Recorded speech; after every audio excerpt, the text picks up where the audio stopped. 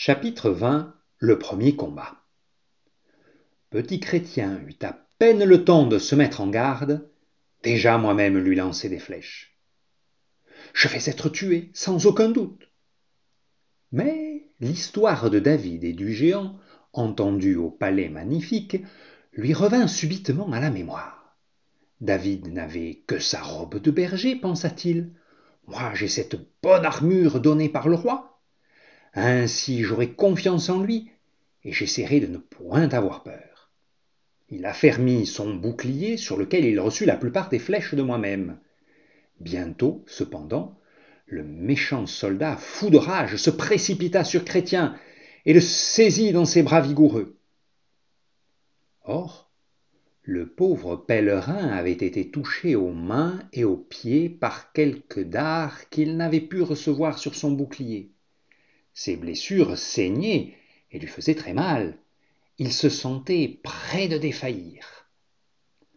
Moi-même s'en étais fort bien aperçu, et c'était justement pour cela qu'il avait jeté l'enfant à terre, espérant pouvoir enfin le tuer. Chrétien laissa malheureusement échapper dans sa chute l'épée qu'il tenait à la main. Alors il comprit qu'il était maintenant sans défense au pouvoir de son ennemi. Mais non, le roi veillait sur son valeureux pèlerin. Comme moi-même allais le frapper, Chrétien vit que son glaive était tombé à portée de sa main. En un clin d'œil, il le saisit, et avant que le soldat eût le temps de se mettre sur la défensive, Chrétien lui enfonça l'arme dans le corps et lui fit ainsi une terrible balafre. Les adeptes du méchant prince ne supportaient jamais bravement la souffrance d'une blessure infligée par une épée du roi. Aussi, moi-même poussa-t-il un cri lorsque Chrétien le toucha. Chrétien reprit courage et vaillamment frappa son ennemi une seconde fois. C'en était assez. Moi-même, grièvement atteint, s'enfuis à travers la vallée, laissant petit Chrétien seul, étendu par terre. Pendant quelques minutes, Chrétien ne bougea pas. Puis, lentement, il se leva et regarda autour de lui. Partout sur le sol étaient éparpillées les flèches que moi-même venais de lui lancer. Mais moi-même avait disparu.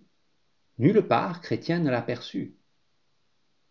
C'est le roi qui m'a aidé, pensa-t-il, et son cœur débordait de reconnaissance pour cette merveilleuse délivrance. Il avait cependant reçu plusieurs coups, et il se sentait si faible et malade qu'il fut obligé de s'asseoir sur l'herbe et d'appuyer sa tête contre un rocher. Il dut s'endormir sans le savoir, car il fit un rêve étrange. Il lui sembla que sa maman, qu'il avait quittée depuis si longtemps, venait à travers la vallée. Sa figure brillait d'une douce clarté, et une pure lumière, semblable à de l'argent, rayonnait autour d'elle. Elle était plus belle que discrétion. Ses yeux se remplirent d'amour et de pitié en regardant son petit garçon. Chrétien étendit les mains. Elle vint à lui, s'agenouilla tout près, l'entoura de ses bras. Puis elle pensa ses plaies, et Chrétien se laissa faire, se demandant si elle était un ange.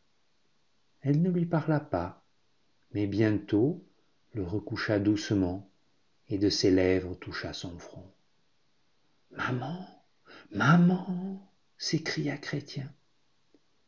Et il ouvrit les yeux, mais sa mère n'était plus là.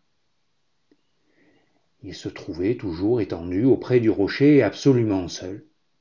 Il s'assit pour regarder ses entailles elle ne saignait plus et ne lui faisait plus mal. Je, je crois que j'ai rêvé, soupira-t-il à mi-voix. Et pourtant, mes blessures sont guéries. Puis, se rappelant que discrétion lui avait donné des provisions, il mangea un peu pour reprendre des forces.